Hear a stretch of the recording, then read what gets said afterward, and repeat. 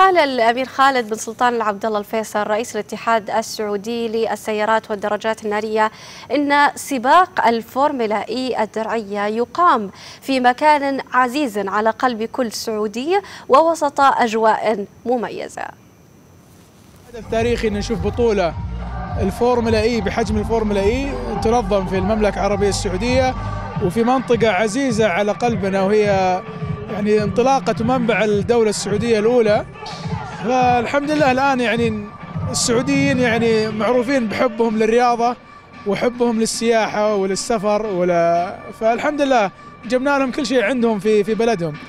إحنا سعيدين نشوف الحمد لله كيف يعني العائلة كيف الجو العائلي إن الناس بدل ما تسافر صاروا يعني يقضون أوقاتهم الجو زين في الرياض الحين ما شاء الله.